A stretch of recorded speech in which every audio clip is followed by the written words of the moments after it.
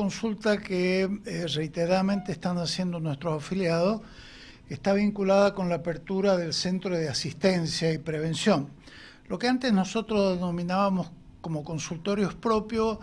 que no era una denominación absolutamente correcta porque lo primero que tenemos que explicar es que los médicos son prestadores externos de DAMSU en las distintas especialidades, no pertenecen a la planta permanente de DAMSU, así que hay un, un convenio de asistencia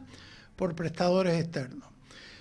Nosotros hemos estado hasta esta semana desarrollando una serie de actividades con auditoría eh, médica y con dirección médica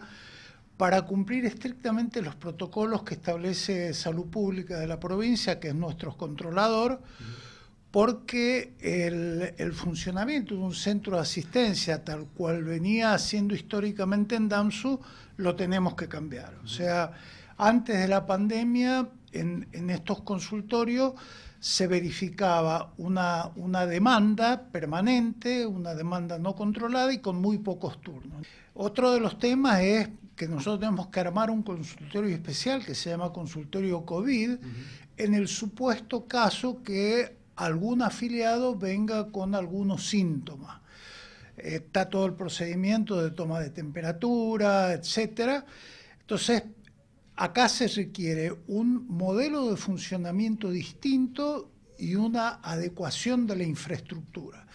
El modelo de funcionamiento ya ha sido escrito, entre toda la documentación que ustedes ven acá, está un modelo que es muy estricto y está vinculado con esto de que la demanda espontánea para solicitar turnos no va más y ahora los turnos van a ser a partir de requerimientos por, por vía eh, online,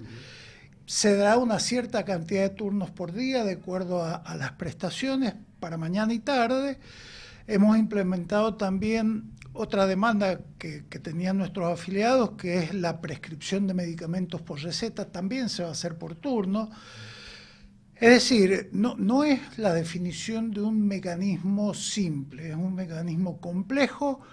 pero lo que, quiere, lo que tiene que dar claro es que vamos a ser absolutamente estrictos porque no podemos permitir que dejar nada librado al azar y tener algún acontecimiento no deseado. Entonces, para concretarlo, eh, en el transcurso de la semana pasada se redactó este borrador, hoy lo vamos a poner en consideración de nuestro director médico. Él se va a conectar con un representante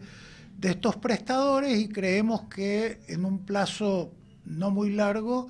estaremos en condiciones de este, atender a nuestros afiliados en este centro de asistencia.